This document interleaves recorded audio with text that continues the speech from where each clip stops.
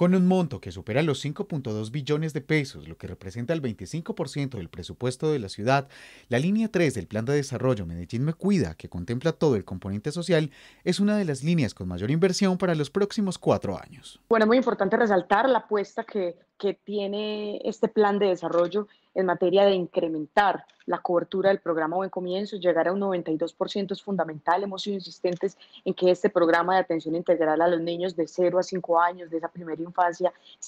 se fortalezca sin límite de puntaje del CISBEN. De igual forma, la concejal de Medellín señaló que para la administración es de vital importancia dotar y fortalecer la infraestructura virtual que beneficiaría el acceso a la educación de los niños en la ciudad.